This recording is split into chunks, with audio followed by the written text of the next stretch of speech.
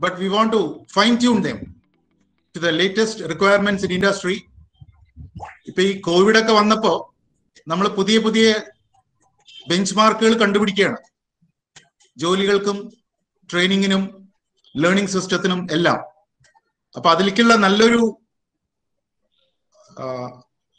Development ആയിരിക്കും നല്ലൊരു creative development ആയിരിക്കും ഇത്തരം സീരീസ് കൊണ്ട് നമ്മൾ ഉദ്ദേശിക്കുന്നത് so formally I invite the principal of the college and doctor Vijay Kumar who was a former director of technical education we also have today with us one of the uh, prominent uh, alumni in the news recently, Dr. Venkata Krishnan.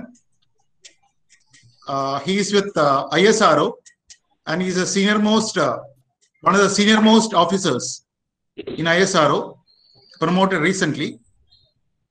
Then we also have with, with us, I think, Sharat Chandra Das, who was a lecturer when we, we all studied uh, in engineering college in those times in the early uh, early 80s or late 70s so i invite uh, dr paul to start his session.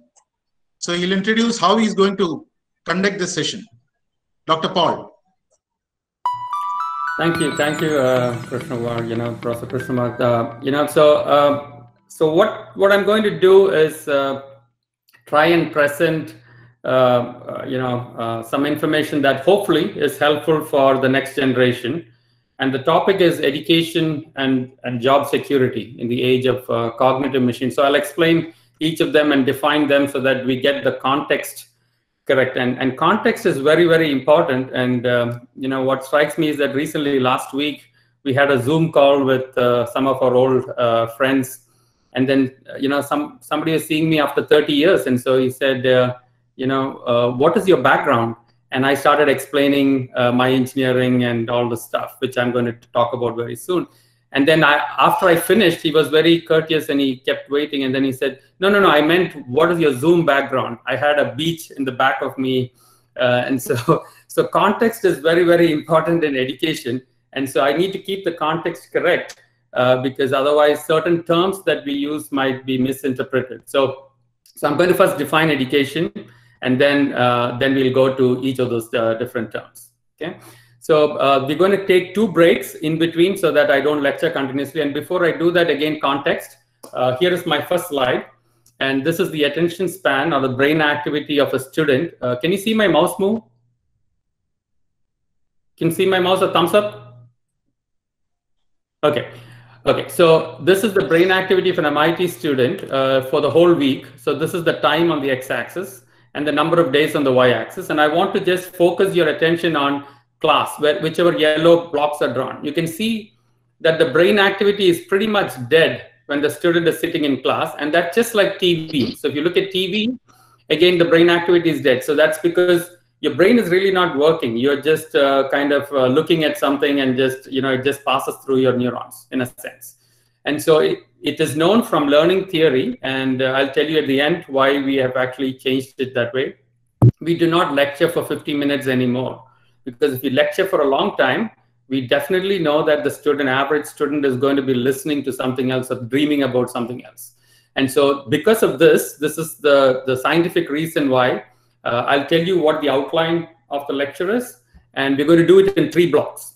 So the first block, I'll define education so that we get the context correct. And then uh, I will show you how I went through my career so as a template so that you can then decide uh, how to compare yourself. And then I'll show you a bunch of projects. The intent is not to describe the projects. Normally, each project is a lecture by itself, but to show you the width of what could be done if you graduate from GCT. The second block, then we'll take a break there after the projects. And the second block is about how intelligence evolved in human society. And then, uh, you know, how should we learn in the age of cognitive machines and what are the jobs in the future? So that's the second block. Then we'll take another break for 10 minutes. And so we'll open it up for Q&A.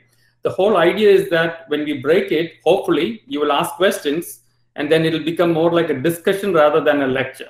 You know, I have people from whom I have learned in this in this audience, so I do not pretend to be teaching anybody. Um, and so, uh, but I think a discussion is a good thing as a part of education. And finally, we'll conclude with what are the education models out there, and then we'll conclude the lecture. So that is the entire presentation uh, scheme we're going to go through. So let me start with education. So I'm going to define education so that uh, we are all on the same page. Part of it is, uh, is a standard definition, and part of it is I've added on to it so that you kind of understand where I'm going with this. So the first part of education is that it is a process. And so we need to know that it's a continuous kind of thing. And what we do is we absorb concepts and skills. So for example, we learn new things in engineering and we might master some skills in engineering like machining or programming or whatever that be. Uh, I believe this is a mainly computer science kind of group, right? So, uh, but then along with that, values and beliefs and habits that you get is also part of education. And that is why uh, an online system alone might, might be able to give you content uh, and uh, concepts, but they might not be able to instill values and beliefs in it. And so I, I believe that Trichur Engineering College has actually instilled in me certain sets of values, which I believe has done good for me. And so along the path, you will pick up degrees and certificates. And so the word path is kind of uh, important, and I'll come, come back to that uh, later in, in the process of how we learn. And the whole intent is to produce new knowledge. So we have got knowledge from our forefathers. They have taught us some stuff. Knowledge is there. And then our goal is to create new knowledge and hand it over to the next generation. And if we don't do that, then the purpose of education is not really met. And so this is the context in which I'm going to be uh, talking about. Now, before we get there, I want to kind of throw a curve here, which uh, I found very interesting, and I think it's it's important for everybody to know. Charles Darwin uh, said that ignorance more frequently begets confidence than knowledge. And, uh, you know, there was a research later on done by Dunning and Kruger. And so this is the curve. So on the x-axis, you have knowledge and experience. And when you know nothing, you're somewhere here. And when you are an expert, you're somewhere there. Okay. And on the y-axis, you have confidence. And so typically, uh, you go up. And then when you know nothing is when you think that you know a lot. And then suddenly the whole thing collapses. And the best way to kind of remember this uh, is, is what I normally tell my students when you finish your bachelor's degree, that is when you think you know everything because you do not know the entire thing. And then when you start doing your master's is when you come down that slope and then you realize that you know nothing. And then when you get to the PhD uh, level is when you realize that nobody knows nothing, including your own advisor. And that is when the advisor will actually give you a PhD and send you off and then uh, you know this doesn't have to be with you you don't necessarily have to go through this path but this is in general the more you know the the less confident you get and then there comes a stage where you become very curious and you start learning. And hopefully i hope all of you who are young will will have that curiosity and then you will start self learning and when you start self learning your confidence will start going up and then hopefully most of us will get into a state of enlightenment okay? And some of us you know may, maybe you know they will reach a, a, higher level. But at least the goal is to come to that black dot so that is the context. Again, uh, setting up the context so that we are all uh, on the same page. So the next thing I'm going to talk about is uh, my particular path uh, was a state. And so those of you who have learned uh, thermodynamics and vittu padikatha aalkar undengil, then you will understand what I am saying. Uh, that is, the path and the state are important. And so there are state functions and path functions. But this is a reflection based on my path. Uh, so you have, uh, you know, in the context of education and career. So I started, uh, you know, with GCT, uh, you know, started off there well, went to IIT, did a master's in PhD in ocean wave energy. And then my PhD work then later on became part of the design for uh, a device that we built in Vizhinjam, Kerala. Uh, most of you would, might not have known such a thing existed. It was there in the papers for some time. Uh, but then I then came to the US on a US Fulbright. And then uh, I came back from the US and joined the IIT Madras faculty in ocean engineering. Then, uh, you know, had some change in mind, uh, went to Germany for Alexander von Humboldt fellowship. And then Texas A&M, where I am right now, they gave me a full scholarship to do an MBA. I don't know why, but they gave me. And so I decided to do the MBA and then I joined a company called Knowledge Based Systems, which is an AI artificial intelligence research company, uh, helping them uh, do defense contracts, basically. And then uh, 2016 is when Texas A&M called me and said, "Hey, can you come and teach?" Uh, and so I I joined the faculty here in the ocean engineering department again. So that is my background. And so my next step is to kind of introduce you to some projects that I have done. The intent here is to show you the breadth of things that you can do if you graduate from GCT. Okay, so that's very important. So the first one I'll tell you is this wave energy thing, which you saw the picture earlier. And the whole intent, this is one module that we built. It was 150 kilowatts. We pumped electricity to the to the Kerala State uh, electricity grid uh, and so the intent was to build a wall in the sea, and people were normally dumping stones in the sea. And we said, hey, there is a better way to do that. If we build it out of concrete, then we can build a wall like this. So this is an artist's rendition of that stuff. And this is one module. So this is the design that I did uh, based off the prototype design here. And the Japanese actually funded me to go and present this work long time back in the 1990s. And so this is energy absorbing wall multifunctional concept. People are still working on this and US is now getting into wave energy, and there seems to be some activity going on here. So that is just the general gist of that project. The next one I want to tell you is more uh, to look at technology from a different perspective, from a business perspective. So there was this company called Liquid Robotics, it still exists, uh, and they had what is known as a wave glider. And so you have a float on the top with the glider at the bottom, and you can see the photograph on the right here. And so this is the glider, and this is the uh, the bottom uh, so the bottom glider here, and there's a diver here uh, next to this to kind of give you a perspective of how big it is. Now this broke the world uh, Guinness records uh, of uh, renewable energy propulsion. From the US, it went to Australia and Japan. Now this company actually hired James Gosling. For those of you computer scientists will know that he was the inventor of Java and so they didn't actually want to sell the device. They wanted to sell the data that comes out of the device in a knowledge form at a highly curated form. And so they were making a lot of money selling the data rather than sell the platform. So uh, you can see the business model here implemented. So collection of data in the ocean is very difficult. They use a robotic vehicle, collect data, and sell the knowledge that is the data collected from the ocean. Boeing bought them just uh, two, three years back. So they made a good killing on that, uh, you know, pro project. So think think always at a very large scale, and I'll, I'll talk about systems level thinking very soon. Here's another project I worked on called the Aging Aircraft uh, Project. Uh, so what happened is that a uh, long time back, you know, one of the aircraft, uh, you know, most aircraft are designed for 25 years. And when the life of the aircraft exceeds, they change the engine and all that. And, you know, typically folks forgot to forgot about corrosion. This is aluminum, so it's not, it doesn't corrode very easily.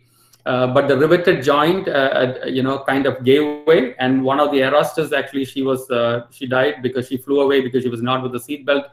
Most of them landed safely. And, and this triggered a huge research program. And I was actually doing the image processing for computing the amount of corrosion that is required. So we built a tool, uh, a software tool to kind of do that. So these are the kind of cool things that you can do if you learn your stuff and bit to இருக்கிறீர்கள் you know so um, so the next one uh, which is very interesting is uh, called trace logic. And so this is an aircraft carrier for the us navy. Uh, we have about 60 aircraft on top of them.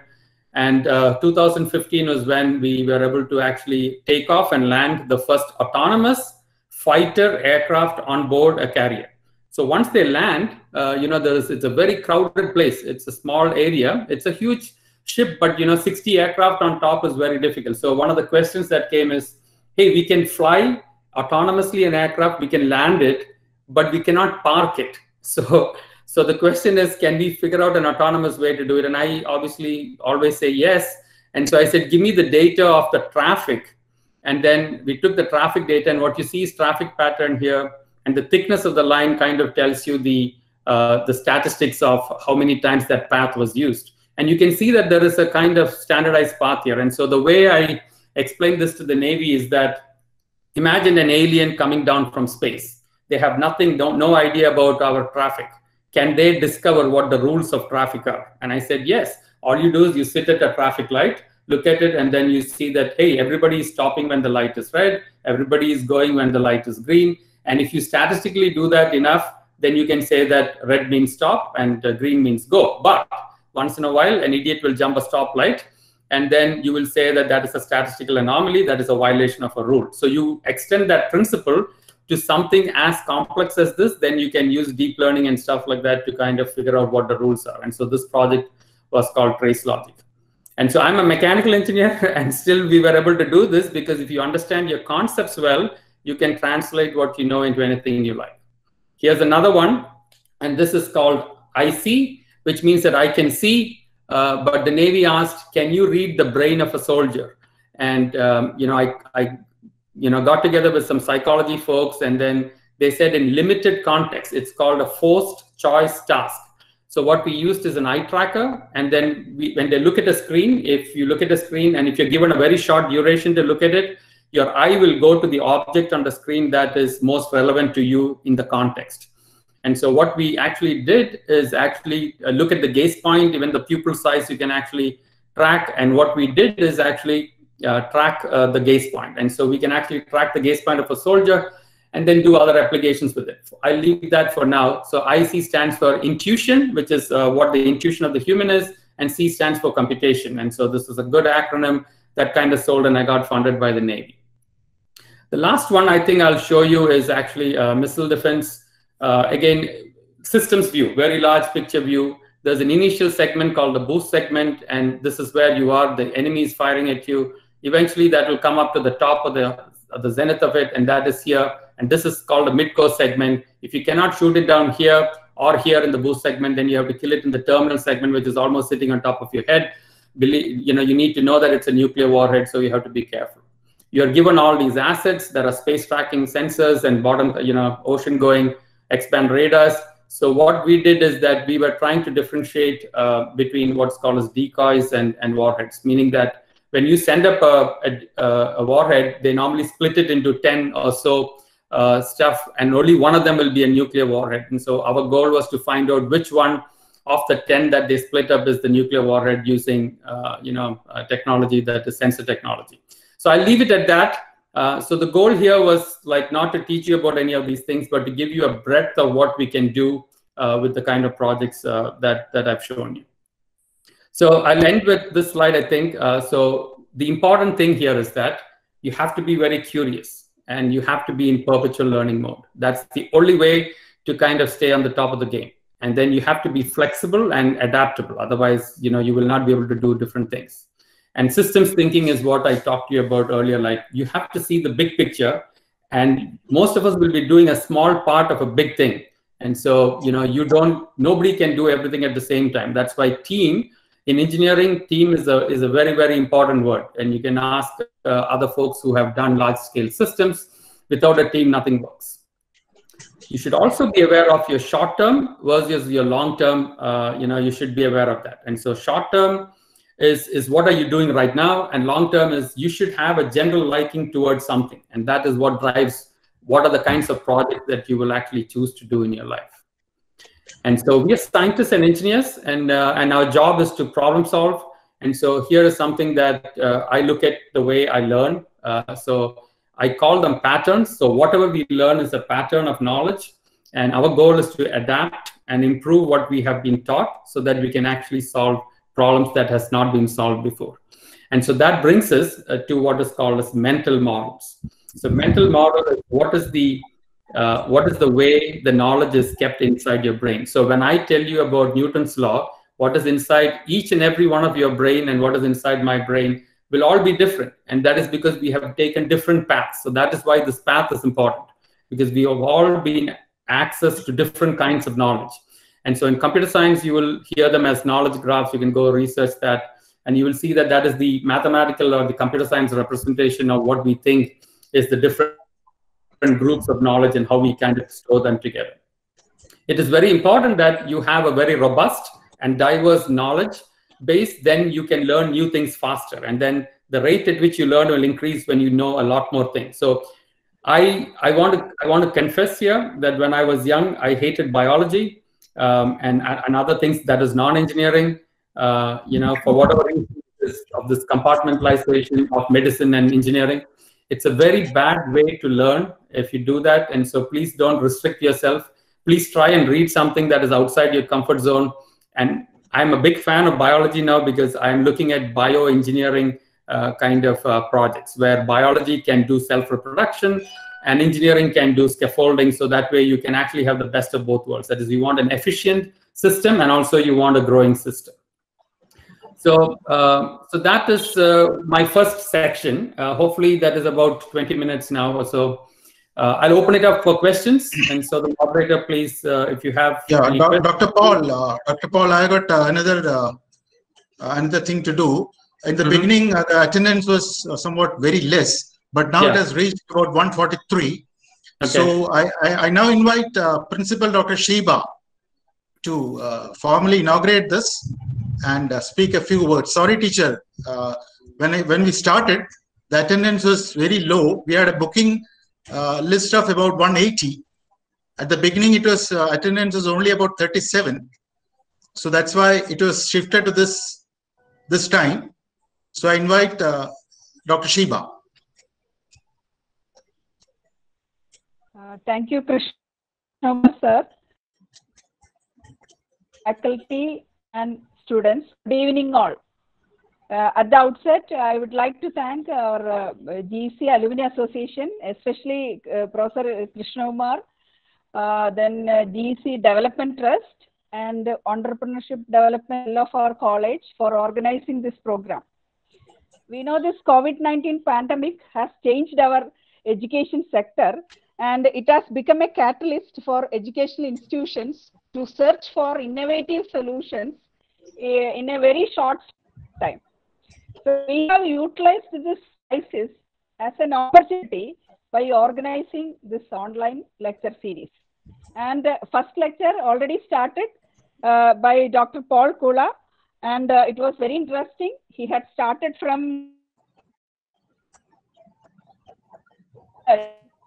and I hope that is very useful to you. And if I organize this as a traditional classroom uh, lecture, uh, I feel that we could not enjoy this and, and faculty all over the world. So I hope this uh, lecture series we will be share in so and uh, the students also and this is also uh, access to this program. I declare this program inaugurated. Thank you. Sir, uh, please continue. Okay, uh, Dr. Paul, the questions are, are yet to come. Okay. I think uh, nobody has uh, started having any doubts or questions. Okay. So I think, uh, can I continue with the next session? Yeah, I will. I will go on to the next session.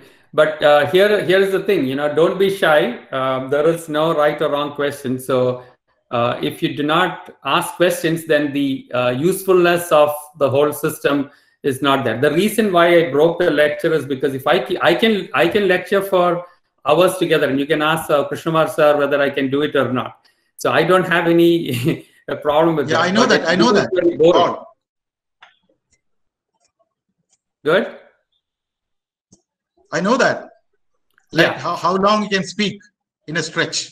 So Wonderful. I'm saying I'm intentionally, uh, you know, taking efforts to break the lecture into small segments to give you an opportunity to ask questions. So anyway, let me let me continue to the next section. Uh, you know, it, it, maybe a lot of you didn't hear the first portion, but we have to start on time. So that's another lesson. You know, time doesn't wait for man. So I think Dr. Dr. right- Paul, there's a question. I think There's a question, Dr. Paul. Okay.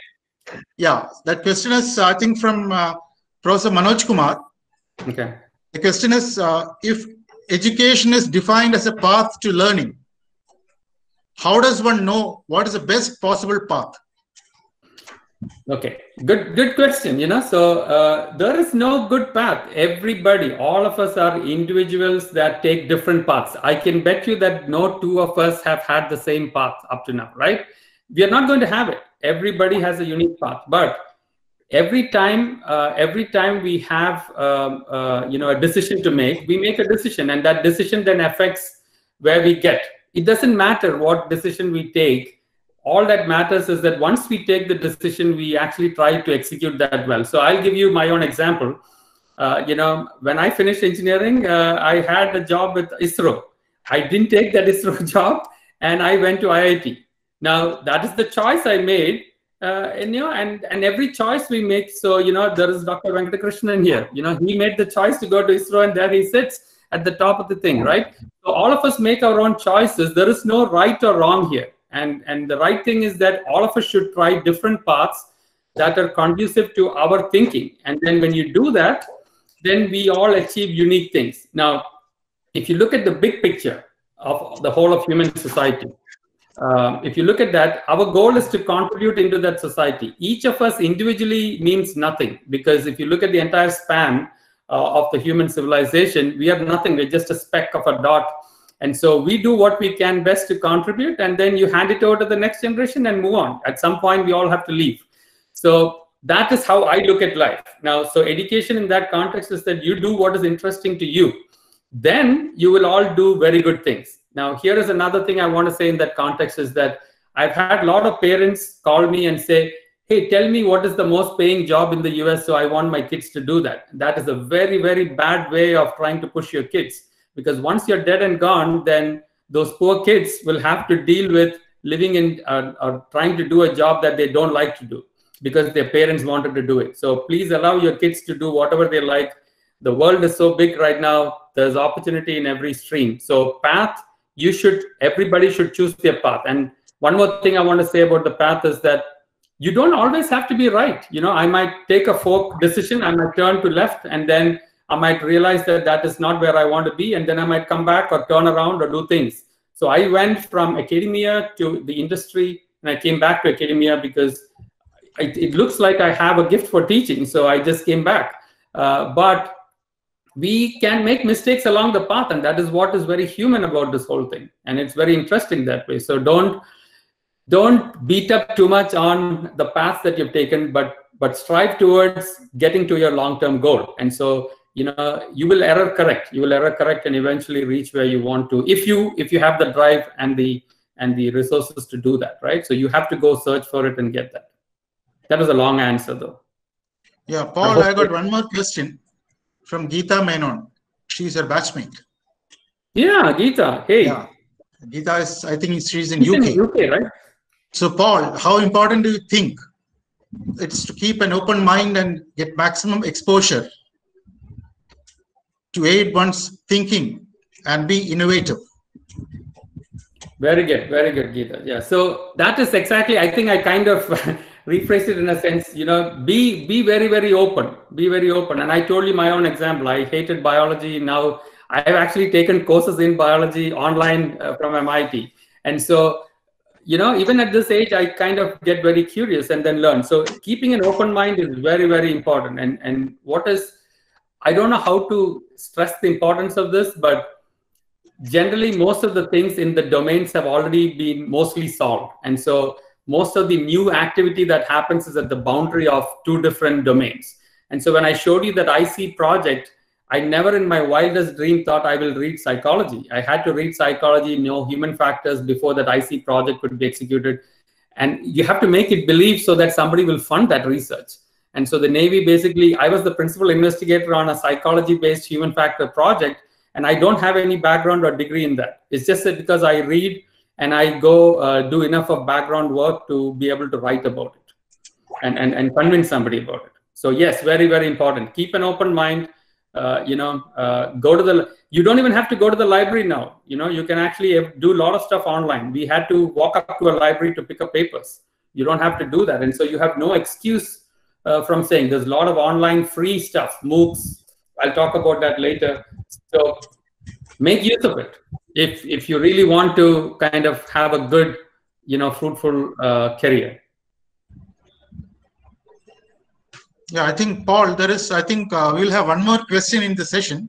A few Okay. more are coming, but I think I'll uh, have one more one more question, and the rest of the questions we'll ask uh, after the next uh, next block. So Okay. this question is from Mohammed Hadi. I think he's a student now in the college. The question is: After graduation, after UG, you have been blessed with being able to be part of many projects, and also have an economic support to do the same. That's your case.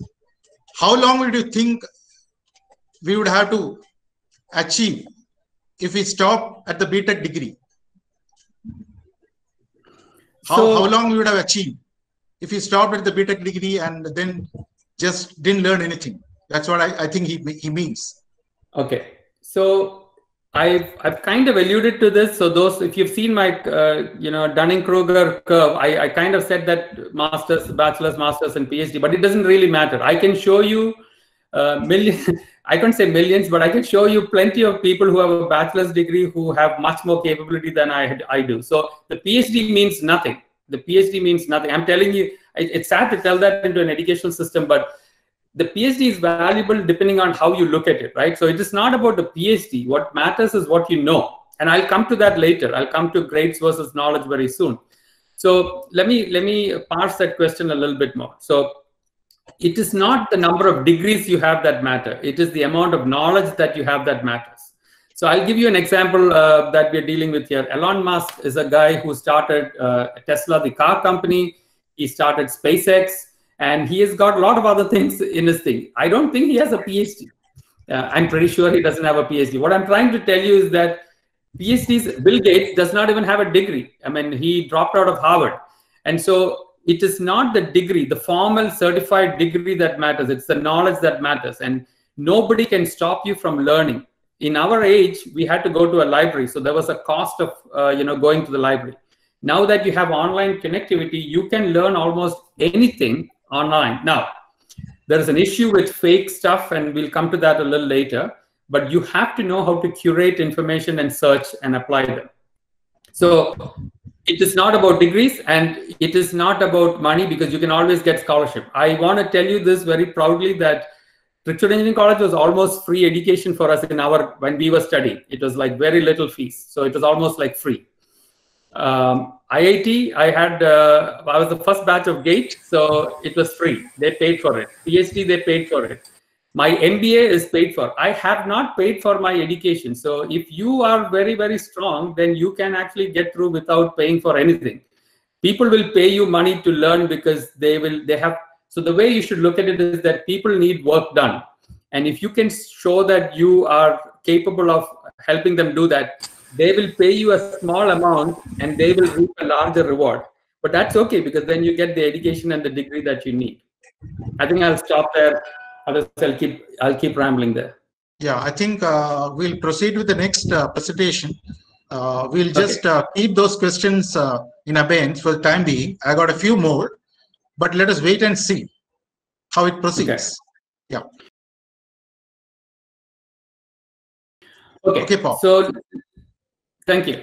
So let me start to the next session. So, um, and the next one is I want to kind of walk you through the history of mankind and how how we've been learning and stuff like that. And so the evolution of intelligence is the second uh, bunch of uh, stuff that we're going to look. At. And here's a graphic I put together. It's a very uh, you know it's a way of trying to put uh, humanity in one shot. So this is the top left here. What you see is our forefathers. They were a nomadic tribe hunting, going around. And so the knowledge they were accumulating is how to hunt, how to survive, how not to be eaten by a lion kind of stuff. Then comes here Trichur Pooram. You know, you can see that, uh, you know, lakhs of people can all uh, accumulate together in a, in, a, in a very close space. Imagine this, you cannot put a bunch of animals there. It will not work. So humans have got a capability of interconnectedness that is very unique. And so we have learned to communicate to each other, and so we can actually control large masses. Now, down here is a picture from Vatican. Uh, this is uh, 2013. So everybody with smartphones, they, they're gathering in huge groups. But now here's the different change. So there is a phase change in civilization where all the data that is acquired by this, uh, you know, census you could think of it, which people are interacting with. So there is a human-machine interaction is then converted to a graphical network. So in computer science, you could think of it as a graphical uh, network. And so this is a Twitter feed that I got. So this is what has happened from just you know making sounds at each other and kind of uh, doing this and when our ancestors did this to right now when we have actually created uh, this whole network of data life is kind of different. So now we have indirectly what's called as man-machine symbiosis. So you do not have to drill an electrode into your brain to basically capture what is going on. Every stroke on your whatsapp or facebook that you do is a behavioral signature that you're actually giving off for free uh, to some company to mine, and they can actually target you with ads and change your behavior. And so, what you need to know is that life is different right now with all this data. And so, anything you do with data, you have to be careful because uh, you know people can take the data and use it against or for uh, you know for you. So be very cautious of that. So that is the context in which uh, you know uh, I want to kind of present this. So if you look at this, uh, you know, human evolution, we started, like I said, making sounds and symbols, and uh, you know that became speech and text, and then eventually that became language and art. And so this information sharing experiences and the facts that we have generated is what has helped us become more and more intelligent in the sense that of acquiring knowledge. And so we changed from a nomadic culture to an agriculture civilization. And what that did is that it allowed us to settle on the banks of rivers. And then it allowed us to do collective, uh, there was collective security was ensured. So it allowed brain growth because uh, specialization and depth of knowledge increased. So in the earlier societies, there were cobblers, blacksmiths, carpenters, all these trades, you know, they were developing. And it was normally passed on generation to generation. And so it, it still was contained and then suddenly the explosion happened. We started writing things down and passing that knowledge across the generation. And so then the breadth and the depth of the knowledge increased. And so that is uh, that is how we kind of made sure that everybody knows stuff. We don't have to repeat and go through all the stuff over and over again. And finally, we come to the scientific method where I want to be very cautious. I gave a similar lecture earlier, and somebody said, uh, I said, uh, truth is relative. And my daughter actually uh, uh, listened to this and she said, no, no, no, truth is absolute. And actually, I have to be very careful how I define it. Yes, truth, there is an absolute truth. In science, what we are trying to do is we are trying to get closer to that truth by observation and repetition. And, and so there is a there's a scientific method that is still it is disproven. The hypothesis that we put forward is considered the truth. Now, unfortunately, there has been information explosion and there's a lot of conspiracy theories and stuff like that on the internet. So when you go and see something on the internet, don't believe that. Don't believe that. You have to you have to verify the authenticity of that. And how do you do that is very difficult. Uh, hopefully, there are some new technologies coming out uh, which might help with that. But for now, trust trust on the internet is very low.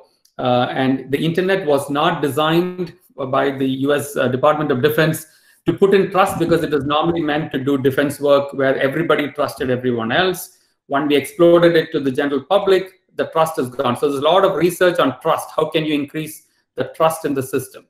Um, and I'm not going to talk about that for now, but uh, you know, you should you should understand that what we are trying to achieve is to get towards the truth. And another example is uh, Newton's laws, where Einstein came and changed it. So eventually, Einstein Einstein kind of modified Newton's law. So we we tend to kind of still understand how uh, these laws work. And hopefully, if some of you are smart, you might go and change that those laws of motion again. But for now, as of as far as we know, Einstein and Newton is what holds with us. So I would like to look at phase changes in society and explain that. So the first phase change, phase change is like ice melting into water. There's a sudden transformation that happens very fast. So the first phase change happened during the Industrial Revolution, where physical machines uh, were used to do labor automation. So, for example, coal and steam was used to do labor automation. Then came the information revolution, where the internet basically became an aggregator of information. It was aggregating all the information. And right now we have always on distributed connect, and so we call cyberspace. And the nodes, which are our computers, uh, and the network, which is all the networks that we use, have scaled even to space. So now we can communicate with outer space also. And so that is the information revolution. Right now, your generation is seeing what's called as the knowledge revolution. So this is where I wanted to tell you all the data that we acquire, we can actually pre-process that data and make sense of that and produce value out of that.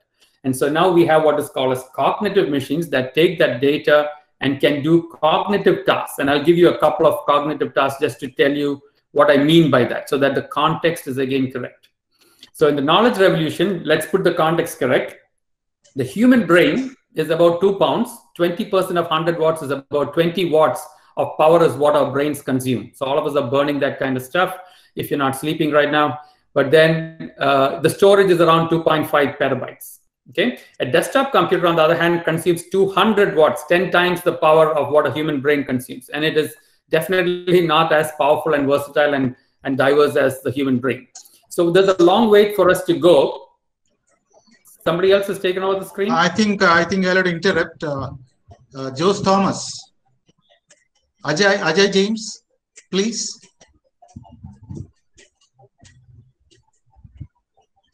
Did you get my screen back? Can you see knowledge Yeah. revolution? Yeah, Ajay. Yeah, I have, I have seen it. Okay. So, So are you seeing knowledge revolution? Yes. Okay, good. So, so the, the human brain, I put it in context because a lot of people think that the human brain cannot be beaten. And so here are some examples for you. So the first one I want to kind of describe is IBM Deep Blue. The computer IBM Deep Blue bet the je- chess grandmaster Garry Kasparov in 1997. And so chess is nothing but a search, a long uh, computer in computer science terms, it's just a search uh, stuff. So you just search through the thing. If you can search through steps in advance, then actually uh, you know pick up the optimal path that you can. So that was solved in 1997. 2015, Professor Lily uh, Fay, you know, in California, she basically created an ImageNet database of all the images of uh, you know different objects and, and they put it out for a competition. And so this is a pattern that you will see now.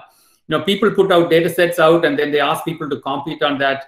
And so 2015 is when uh, the computer was able to do object recognition better than a human being.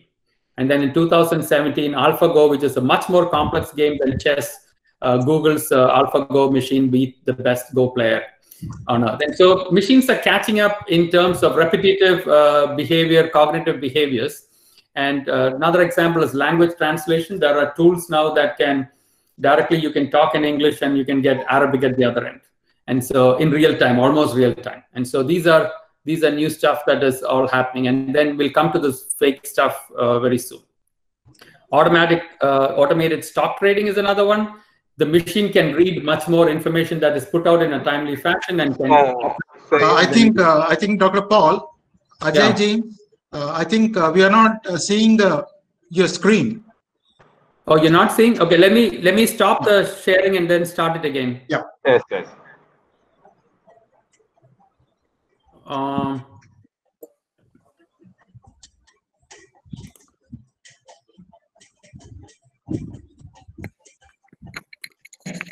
Sir, I think uh, if you click on that pin, uh, you'll get the presentation by Professor Koola. what is that?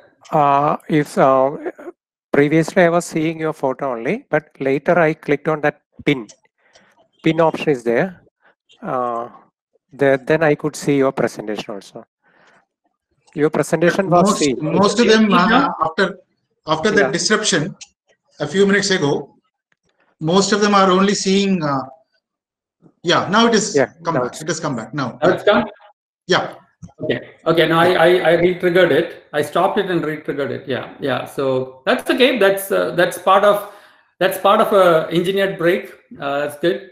So continuing on, you know, I'm I'm trying to give you cognitive examples because a lot of times people think that uh, you know um, there- there's a boundary. I mean, uh, machine learning and AI has got a boundary right now, uh, and so these are things that are already happening, so that we kind of understand that. The next one I want to talk about is music and art. And um, recently, I read that uh, you know uh, there was a machine that actually created a piece of music uh, using old pieces of uh, Bach. Bach is a composer, and you know people, experts in the domain, could not differentiate that it was made by a machine. So music is already getting there. You can actually pick up uh, you know segments of music uh, tunes that you like. You can put that together and say tell the machine give me something very similar to that. And so that kind of work is going on. Style transfer. So picasso uh, the great painter you know his style is a very unique style. So if you feed the machine a lot of that style and give it a photograph it will take the photograph and convert it to the picasso style. So there's already a lot of computerization and machine uh, AI based, uh, you know, music and art is going. So style, th- that particular domain is called style transfer. And then finally, the most, uh, uh, you know, uh, crazy thing that we're seeing right now is autonomous driving. And so in the US now, for example, cars can drive on a highway without any human touching it. Uh, so there are cars that drive so that way. So autonomous driving is there. Here's some examples. And so here's images created by a machine. This is not real human beings. This is entirely created by a machine. And what they think is that you can actually replace uh, an actor or an actress with these kind of artificially generated images to your liking. And imagine that you can actually create a movie where you can choose which faces you like, and then the movie will just superimpose the faces back onto the actors that those are just stick figures. So you do not require a very handsome guy uh, to be the, the hero. Uh, you can actually hire me as an actor is what I'm trying to tell you, and then slap a nice face onto it. And so, so that is one. Here's another one. Again, I'm not going to run this. Uh, I will I will share these slides. So please don't take down notes. What is already on the slides, I can actually hand over all the slides to Professor Krishna Kumar, and he can actually hand it over to whoever wants it.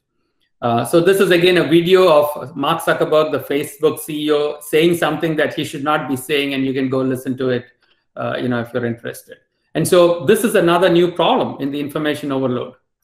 And so we'll we'll see what we can do about it. So continuing on the thread of evolution of intelligence, the man-machine symbiosis is already on. Whether your brain is being integrated or not, you're actually every type that you do on your smartphone is being recorded and taken and used. And so an example I normally give is that of Uber. Uh, Uber is actually, uh, again, this is again from a business model perspective. I know a lot of you might want to start your own companies. So I do not want you to think of technology just in a smaller bucket, but think of it in the larger scope of things. So Uber is a company that takes information from two different people and make makes that happen. So if you want to go from point A to point B, and if somebody else is willing to drive you from point A to point B, then Uber just makes you handshake and they take a cut out of that handshake. Now think of it. Uber does not own the car. The car is owned by the poor guy who's driving. They're doing all the dirty work, the capital costs, all the risks, everything is with the driver. Uber is just taking skimming off a thing. Now they have Uber Eats and you have uh, Airbnb and all these kind of models where information technology and data is the new oil. So data is the new oil uh, which is being mined. And so if you are in any domain and you have a lot of data, then you want to rethink how you want to kind of propose your business. Autonomous driving, again, talked about it, and I'll tell you something more about it. Uh, what is important about autonomous driving is that if you have a million robotic vehicles on the road, now they will do what is called as distributed error correction. So error correction is one way to kind of close the loop in knowledge. So if you make a mistake, like we talked about the path, and then you know that it's a mistake, then you can correct that error. Error correction is, is considered a sign of intelligence. Now, human beings, when I make a mistake, if I drive, I go crash, most of you, I promise you, will not know that I did a stupid mistake because I did not want to tell you that. But machines are different. Machines are controlled by us. So if a car makes a mistake, we take that error and then propagate it by software into every other car. So distributed error correction in a, in a, in a machine is a very, very powerful thing. It can learn very, very fast group uh, errors. And so that is why, to me, autonomous driving is very interesting. But that brings us to ethics, law, and policy. And what does this mean for society? So deep fakes and truth. So there is a lot of wrong information out there uh, on the net. And so how do you deal with it, right? And is it if somebody does use that information and something happens to them, how do you prosecute that? So the ethics and law is not caught up to technology. Technology is moving at such a rapid pace. And so here's another one called cyber weapons and drones. Uh, is it a better way to kind of run is it a better way to kind of run um, you know wars so that less people die but drones kill un unexpected civilians right and so i was on a thesis committee on a philosophy thesis committee where they were looking at the ethics of drones and saying that you know what rules do you apply is it is it, is it fair to use western civilizational ethical principles you know people are questioning uh, what are the ethic principles that you have to kind of use uh, what percentage is a cyborg human? So if the human being's organs are being replaced, you can actually use pigs to generate organs. And then if you put those organs in you, after how many organs are you really human? And, you know, these questions are arising. If you have mechanical hands and uh, stuff like that, they're already trying to build artificial hearts, biological artificial hearts using your own stem cells. So you can make a mechanical scaffolding and then put bio, you know your own stem cells and then create a heart that pulses so people are working on this. So if you create uh, a new heart, then are you fully human and what kind of laws apply to you? So these are things that people are thinking about, but it's still slow. So there is uh, there is an opportunity in engineering and law, I, I guess, uh, to think about these kind of stuff. So let me let me kind of conclude with this section saying that cognitive automation is given. I mean, I've kind of shown you enough examples. I'm hopefully I'm hoping that you will be convinced. So knowledge is a collective enterprise, and so that is what we need to understand. Now, earlier we thought about knowledge collection just from human beings alone, but right now it is your phones and sensors and IoT is Internet of Things. Everything put together is what is this collective thing. So we can use knowledge that is not curated by a human being, but that is curated by a machine, for example. And so do not ignore that, is what I'm trying to say. Eventually, you get the data pipeline from data to knowledge, and, and that knowledge is what you need to conceptually understand so that you can actually leverage that. So our brains are limited. I've shown you that. Machines have got better uh, in capacity in terms of computational power and in memory. Even some aspects of creativity that we thought was only human, like art and music, is being computerized and so this is a dynamic interactive system. And so my, my suggestion to you uh, is that please try to understand concepts. Searching on the internet is easy, but you need to be able to curate it correctly and then apply that concept to new patterns and new problems. And if you can do that, then sky is the limit.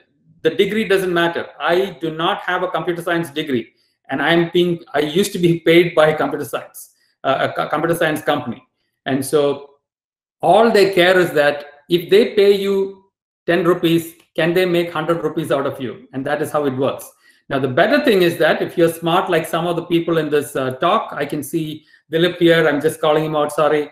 You you run your own company and make other people work for you right? So uh, you have that option also. So entrepreneurship is another big deal that i like to propagate and, and teach. So be curious uh, and be in perpetual learning mode and then you will be relevant and you will not be ignored. But if you don't do that you know the machine is very likely to take over your stuff.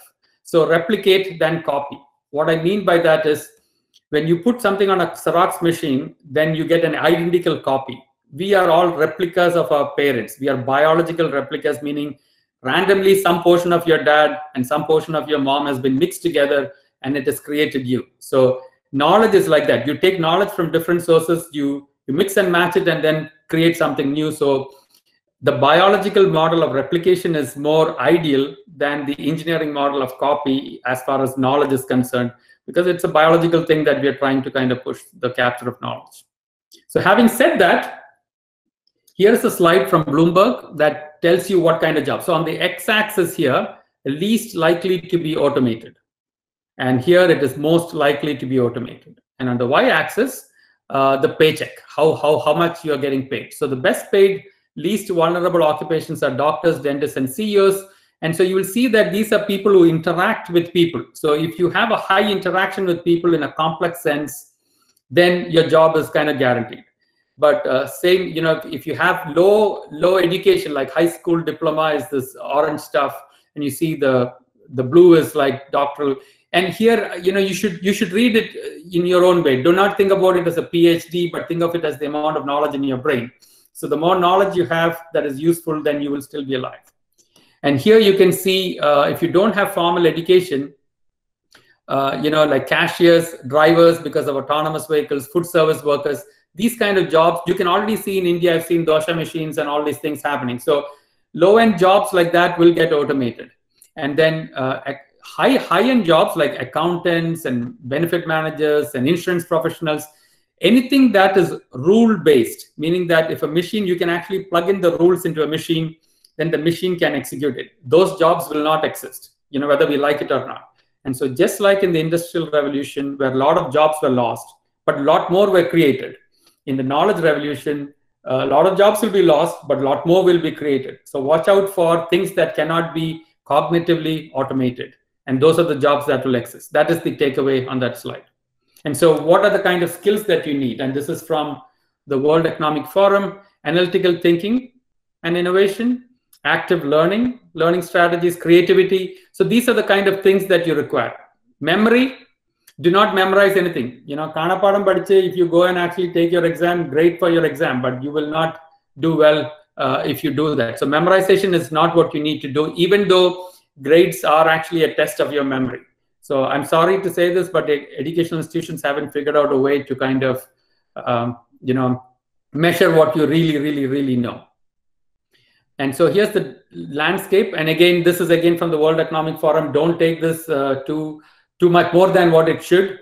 Uh, anything to do with data and uh, you know learning from data in any domain is useful. So any domain, including biology, we we actually work with doctors and stuff like that to take data from them and then create data data based uh, you know systems that actually can reduce the burden of repetitive labor. And so that is how you should read this slide.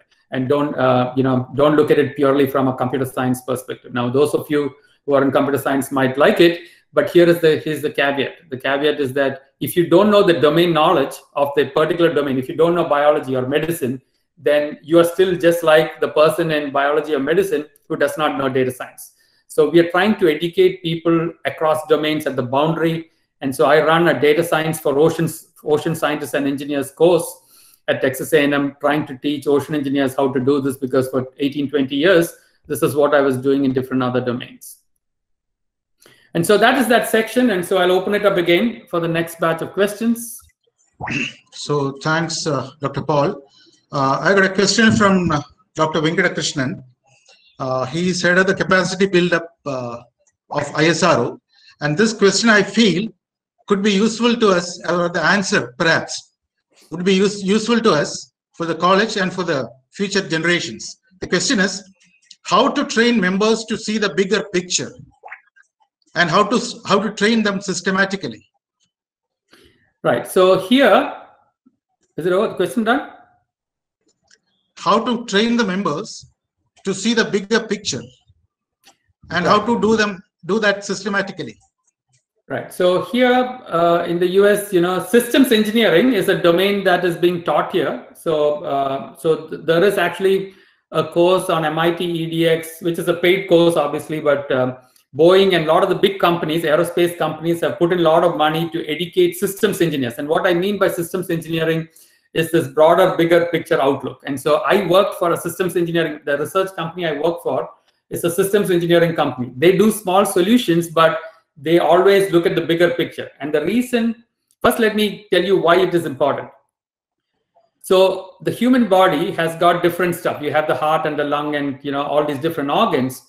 Now, if every organ decided to optimize for itself, the human body will fail because all the other organs also have to work. So what we are looking at is a systems optimization of the human body. Maybe, maybe a better engineering and a simpler example is that you know, I don't, again, this is a mechanical example, but if you have a pump and a motor, you know, the motor is designed normally uh, independently. There's a lot of motor companies that do motors and there are pump companies. And then when you integrate it together, both the motor and the pump are not at its peak efficiency normally, you know, but when you integrate it, you want the system to be at an optimal level. And so systems theory is a very interesting subject where you put all the pieces of the puzzle together and then optimize the total system. Now, Dr. Venkatakrishnan's question is how do you train people like that? The only way is to kind of educate people in that.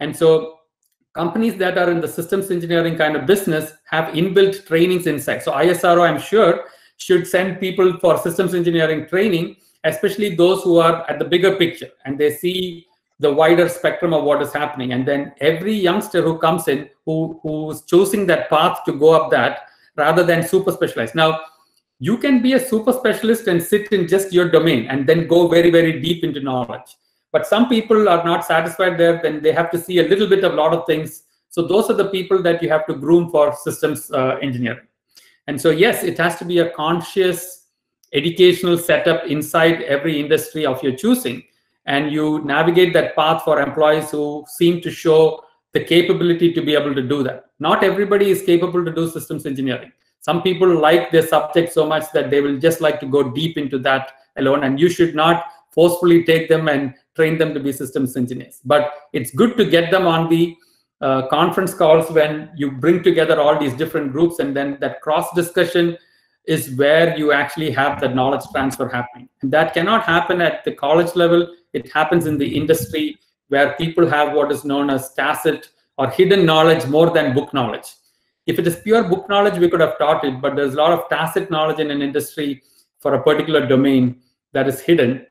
And knowledge based systems where I work for, we used to go interview people to understand how they think rather than what they say uh, on, on paper, because what they say on paper is different than what is inside their brain. So you have to ask provoking questions to kind of extract what knowledge they have. And earlier, long ago, before deep learning became a fashion, we used to encode that in knowledge databases, and that's why the name knowledge knowledge-based system. So I'm sure that a lot of uh, companies are kind of doing that right now because systems engineering is a more well-known, well-thought-out Okay, uh, branch. of Dr. Paul, uh, should I, uh, can I interrupt? There are a lot of Yeah. questions uh, in the flow. So I think uh, we'll cut short uh, the answering Yeah, duration okay. A bit. Okay. So the next Next uh, next one is uh, I think from a student who is uh, hiding behind uh, Z cubes. That's what I see. The Oh, that's question my is, godson. That's my godson, Johan. oh, okay. If uh, if that's like AI can learn without rest or gaps, What is it? and if AI, artificial intelligence, can learn without rest or gaps, and humans need gaps and sleep, what does this mean to human intelligence versus AI? Does AI also need sleep or gaps? No, the machine does not require sleep of gap. So, you know, you can train the machine, it can work 24 7. You don't have to pay it health insurance and all. This, this is why, this is why it becomes so there is a price point. Uh, very quickly saying a robo that can do burger flipping is, uh, you know, becomes economical today in US terms at around $15 uh, per hour. The, the, the wage, the lowest, uh, the minimum wage for a US worker was around $10 and they were trying to push it to 15 when you push the minimum wage to 15 what happens is that that machine becomes cheap. And the problem with the machine or the good thing about the machine is that once you build a machine and show that it works then it learns better and better. It keeps correcting its error and so when you mass produce that the per unit cost of that comes down. And so the robo will then uh, become five dollars per uh, you know it can actually uh, it can become five dollars uh, you know um, it it can it can bring down the price to a very low point then the human can never compete with it. So yes the, the machine does not require any rest but the thing is that per unit cost will keep dropping. So be careful of any cognitive task that can be repeated. And so i, I just saw the question come up from ray kurzweil the, the question is kurzweil it's a concept known as singularity. So the point at which the point at which the machine becomes more intelligent than the human is called the point of singularity. We are nowhere close to that yet. People talk about that and yes once that happens then the machine will start learning faster than the human. We once that comes we do not know what happens to society. As far as i know and as far as i think the research goes no machine has got consciousness yet and so if the machine does not have consciousness it can only do what it is programmed to do so i'll i'll leave that answer there uh, you know so that i can take other questions Okay, Paul, I got another question from B. Anil. I think uh, you remember B. yeah Anil. yeah yeah Trivandrum. Uh, the question is, is it knowledge or knowledge to apply knowledge, which is important? what is Maybe it? the AI and human intelligence, the comparison. No, I, I didn't understand the question. So is it knowledge or is, Is it knowledge or knowledge to apply knowledge, which is important? Yeah, apply. That is obviously yeah. So if you if you understand knowledge well enough, then you will know where to apply it. If you apply the wrong pattern, so let's look at it as a pattern. If you apply the wrong pattern to a problem, it will not solve the problem, or it might give you a suboptimal result. So knowing where to apply what is very very important, is and it is part of the knowledge actually. It is also part of the knowledge. So if you've understood knowledge fully, then you will know where you can apply it and where you cannot. So an example is Newton's law there are certain places where it can apply and there are certain places where it will fail if you go close to the speed of light it will fail so having knowledge of that is important Okay. Uh, Paul, there is another question from uh, Vishnu Suresh. He is a final year student at the college.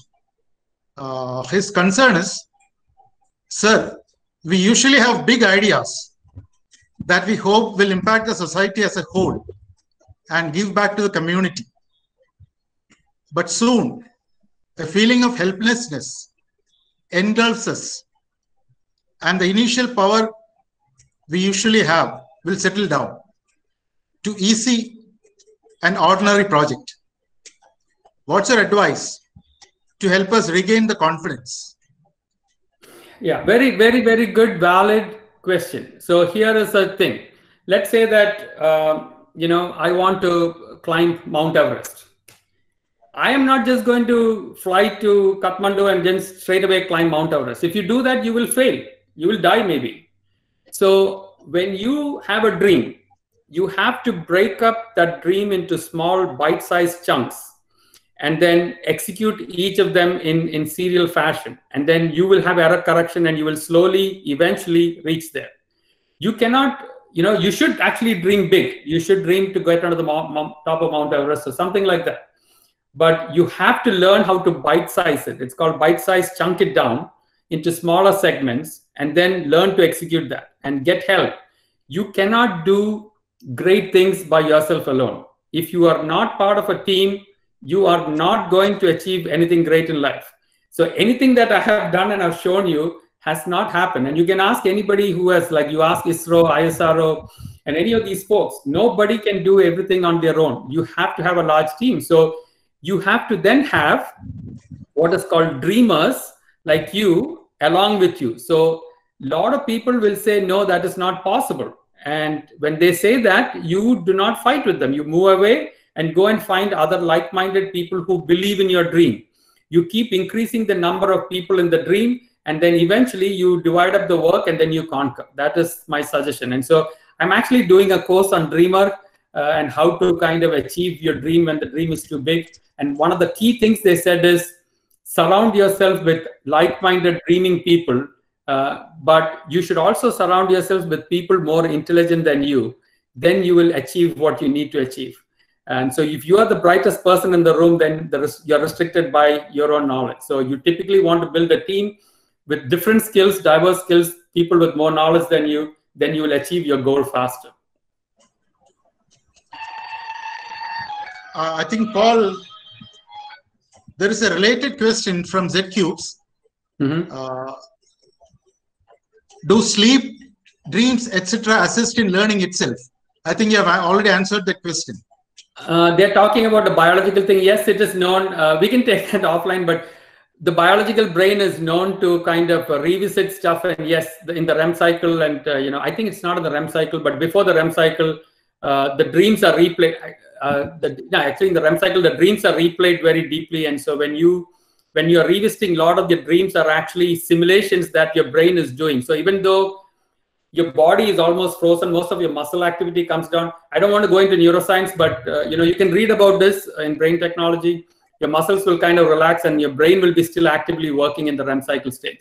And so, yes, you are actually simulating a lot of scenarios. So if you have if you have had dreams like Pedi Sopnam where you have fallen off a cliff, that is your brain simulating things that you do not have to do physically so that you will not jump off a cliff. And so those are, there's a lot of studies on that, yes. Yeah, I think, Paul, uh, I'll have one more question for this session because we are uh, overrunning the time.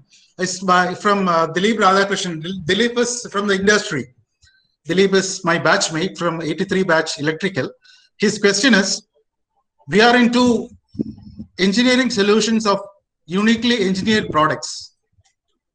So getting engineering solutions from outside the box is very important during our routine work. How close are we to this kind of problem solving in the industry? So in the US, again, I'm going to use the example that I know, which is the company I work for. Uh, we hired we hired mathematicians, we hired philosophers. Actually, we have philosophers in, in the company who actually helped us do language design.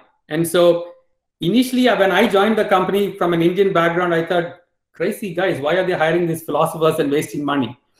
But eventually, you will realize that they, they contribute a different systems level view to the whole thing. So philosophers just think, they do not provide any solution. So actually, it's a pain to work with them because they cause more problems for you in terms of poking holes at everything that you do. But eventually, I have learned to accept being criticized. Uh, once you're married, then most of us will know that you know criticism is part of life, and then you you learn to accept it. And once you learn to accept that life is actually not bad actually because there is some value in being criticized and these philosophers help you do that. So if you want to kind of get that kind of environment hire people who are not of your kind who you think are related and will contribute. So there are not all philosophers can do that. So some philosophers deal with technology philosophy of technology kind of stuff. They are very good because they can poke holes at different things. So one of the things we do with ethics is that in ethics we have philosophers. Actually i taught the engineering ethics course with the philosophy department. And so it just opens up your mind like crazy. I because of that i got onto the drone committee for the phd thesis. So it is always good. So i also want to say biology. So one of the things i'm very excited about is can you use biology the concepts from biology and integrate it to engineering? And so now i'm working with the marine biology professor to create a huge structure that can self-grow itself. I don't know whether it is going to happen in my lifetime, but at least we're working on that. But you have to collaborate across disciplines, not just engineering. A multidisciplinary engineering is known, but going across outside engineering is very, very valuable if if you think that that particular domain has a fusion possibility. You have to make a call on that. And it's expensive initially. You will see the results very much downstream. Okay, Paul, uh, then I think uh, we'll move on to the next session and we'll Oh, okay. uh, continue with these, these questions which are remaining after the next session.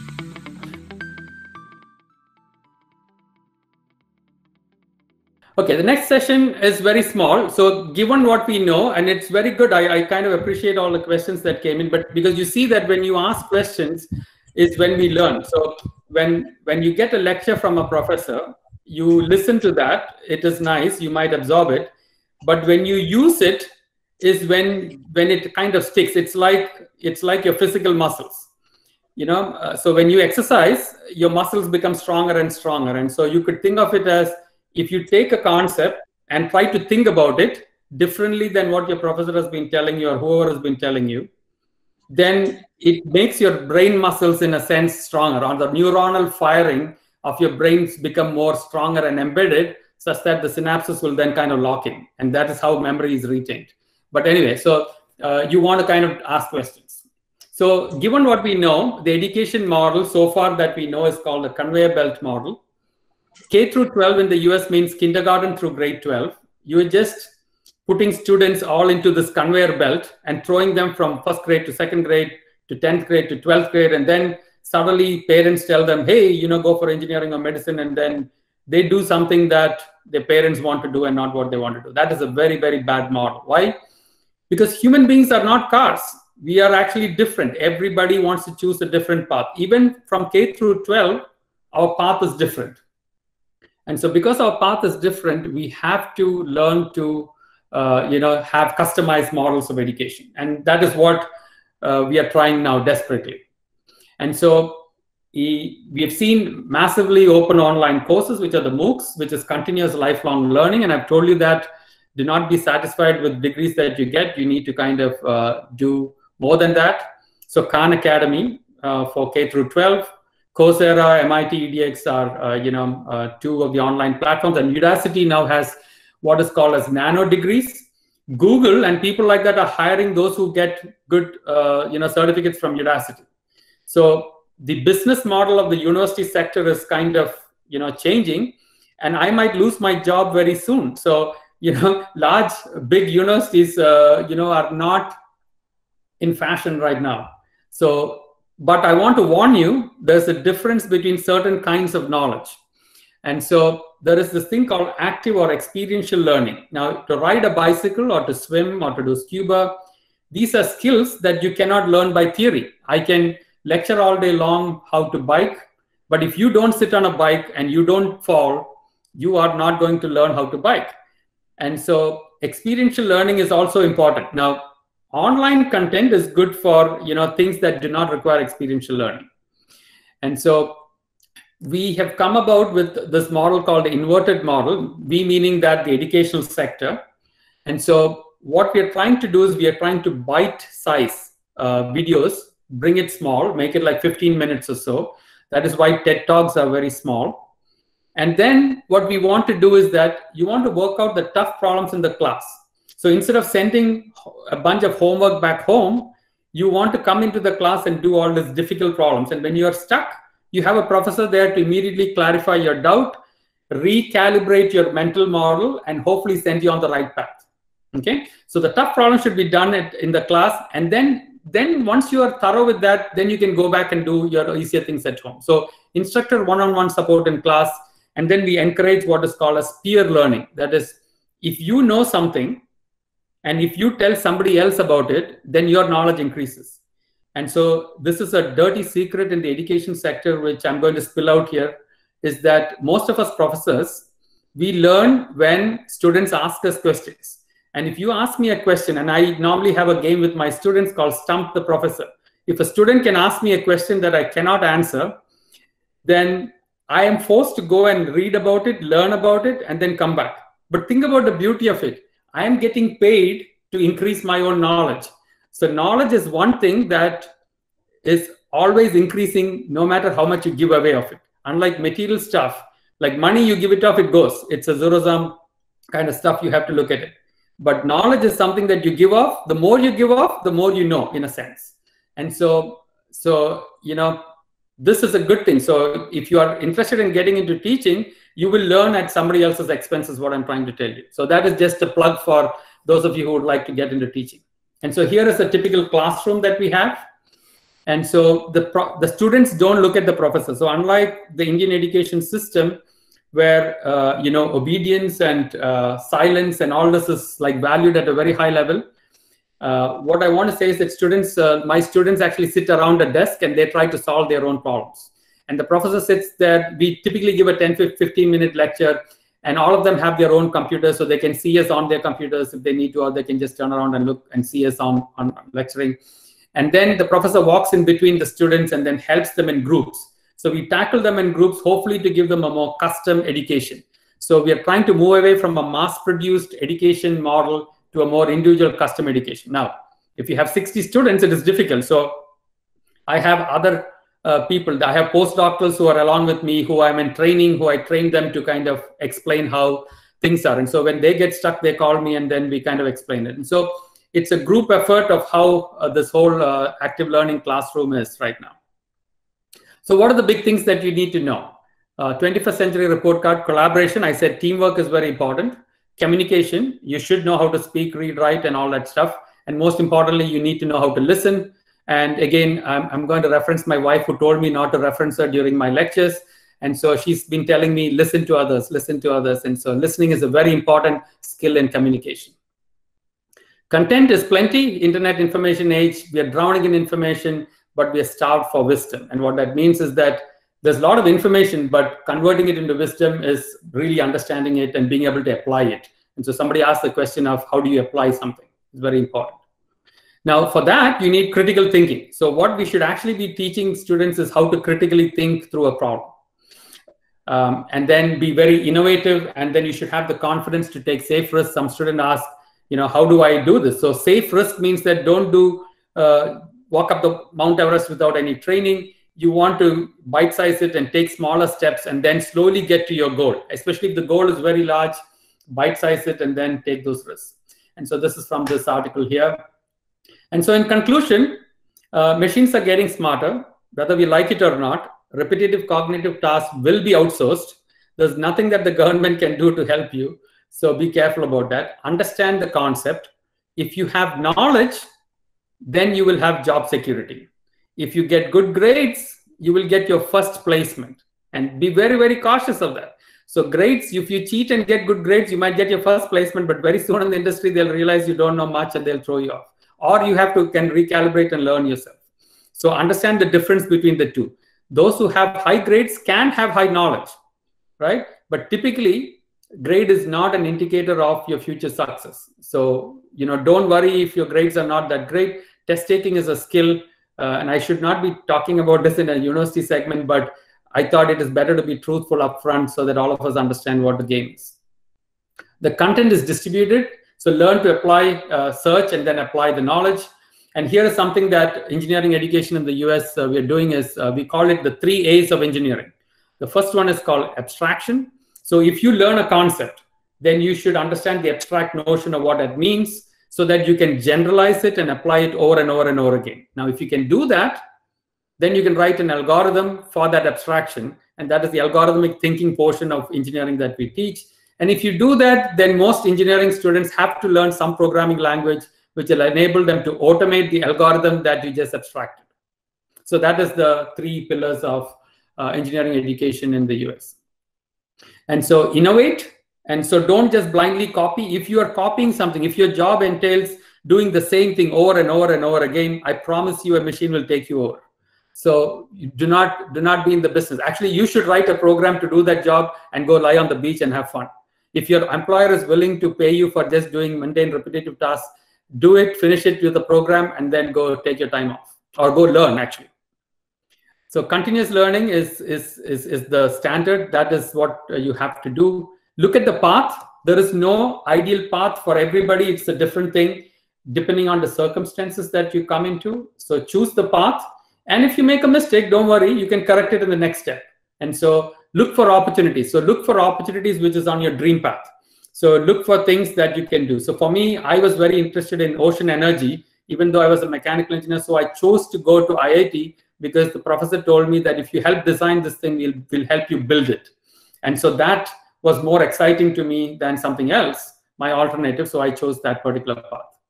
And here's something that we teach uh, our students is be socially relevant. And I think the younger generation, they have been trained and tuned to that. And so I'm very proud of the next generation being very socially relevant and try to have global impact. And so Texas A&M, again, uh, we actually, uh, you know, force uh, most of our students to go outside the country. And I actually brought a bunch of students to Goa, BITS Pilani, Goa, to do this ethics, engineering ethics course. And so we have the largest global student program uh, of, uh, you know, the, the public universities in the US actually right now. And so it's a very big push. We're trying to teach them to be more global and stuff like that. And so dream big, and go change the world. So that is my uh, big preach to you, and uh, we'll open it up for discussions. Thank you. Yeah, thank you, Paul. So I got a, a question from Harishankar. Mhm. This question has been uh, in the field for uh, from time immemorial. What he asks us: Should we dive dive deep or go wide during learning? I would say I would say both. Uh, so when I was doing my PhD, I was going deep, and then once I did my PhD, I started going wide. And so different phases in your life, it is different. Certain problems you have to go in deep.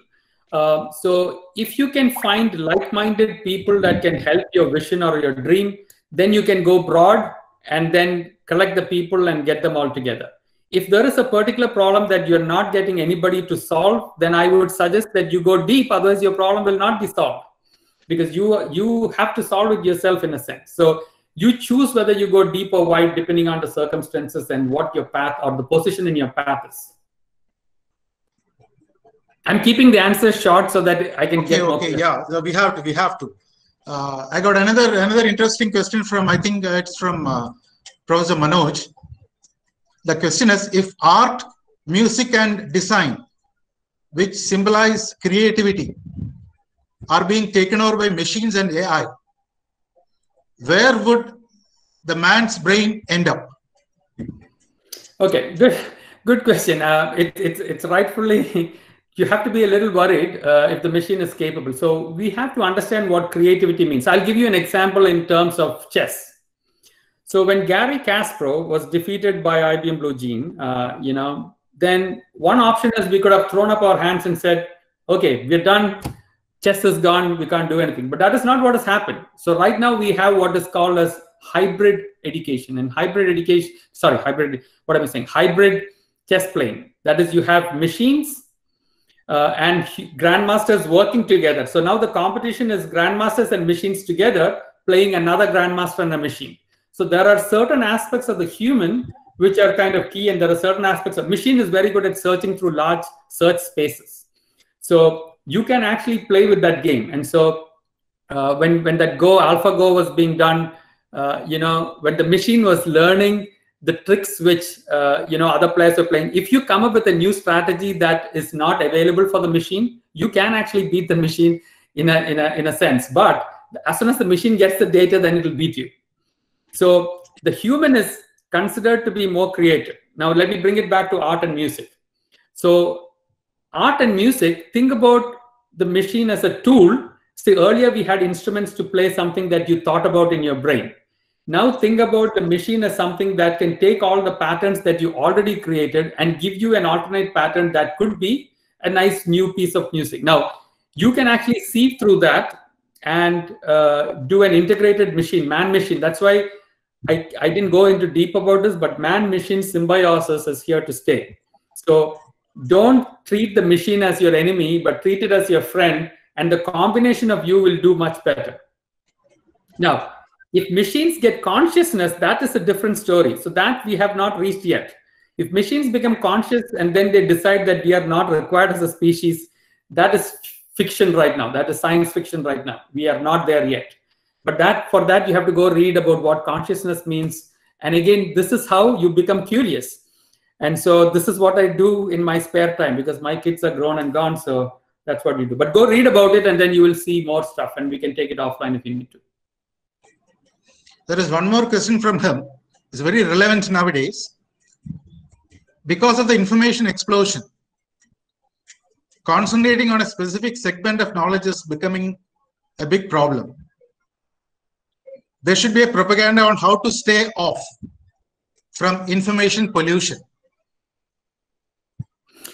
Yeah, so people are working on it. Unfortunately, the uh, architecture of the internet did not have uh, trust built into the system. People are working on research to build trust into the system. I don't know if you heard about this last week.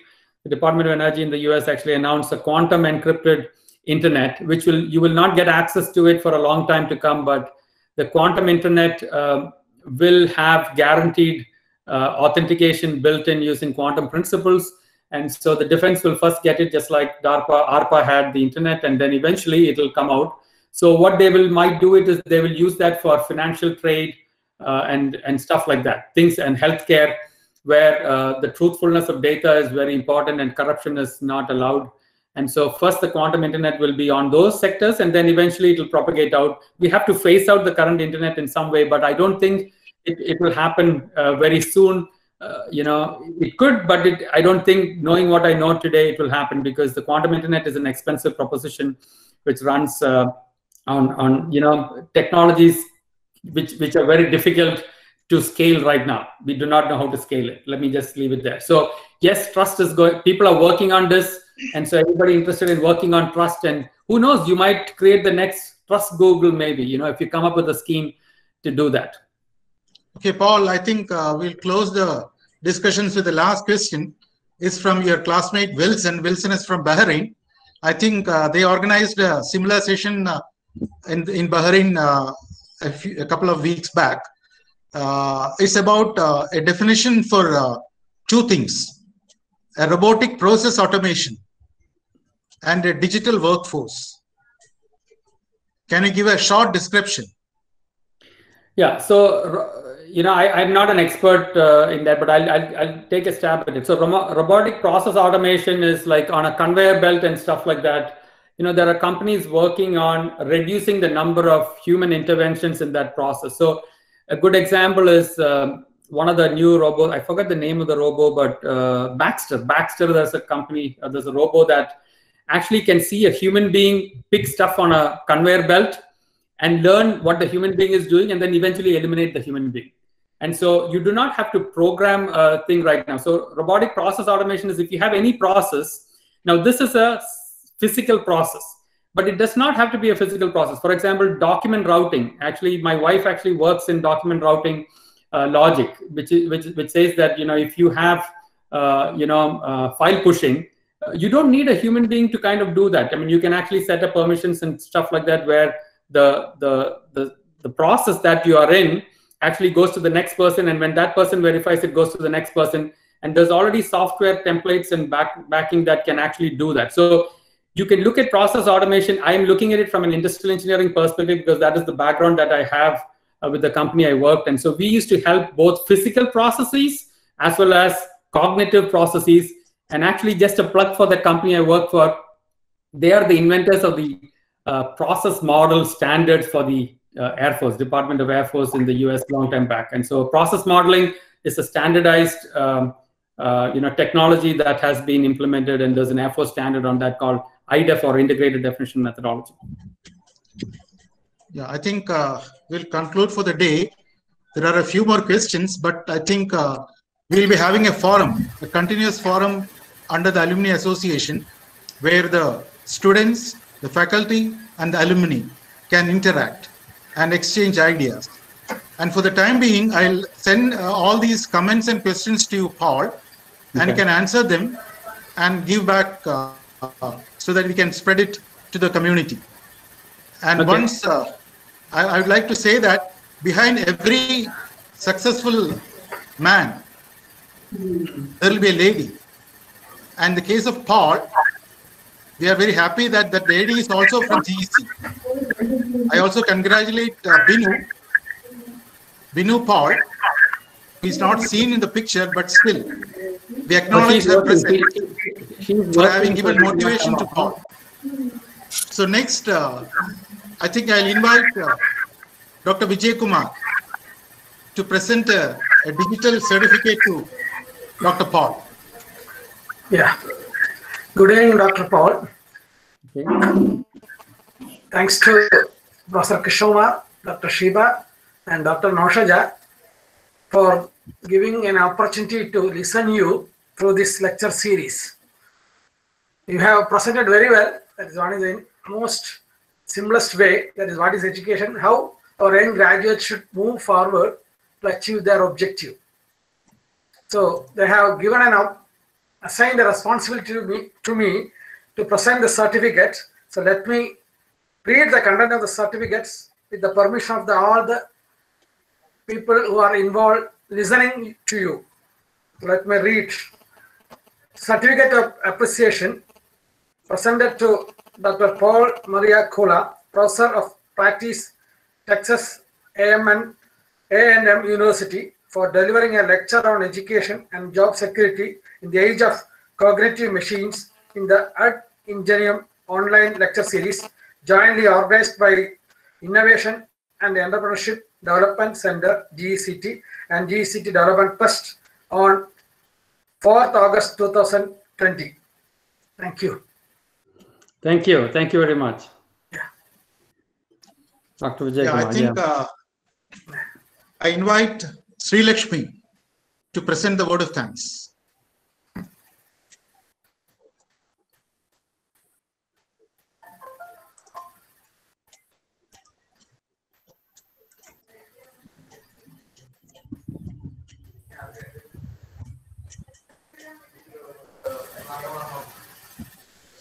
Sri Lakshmi.